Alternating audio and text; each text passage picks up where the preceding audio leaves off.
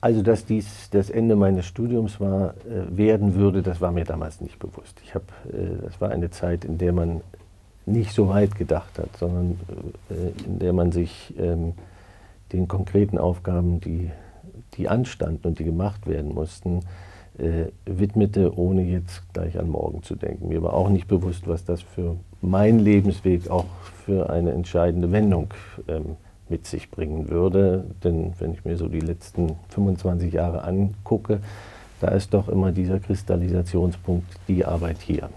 Bis dahin, dass ich Joachim Gauck darüber kennengelernt habe. Ähm, und äh, bis dahin lebte ich so auch als Student mit Planungen, was wird im Sommer, was wird im nächsten Frühjahr passieren etc. Das war plötzlich alles weg. Das war auch eine ganz neue, neue Lebenserfahrung ähm, für den Moment äh, und für die Aufgabe zu leben, die man übernommen hat. Und es war eine ganz intensive Zeit. Ähm,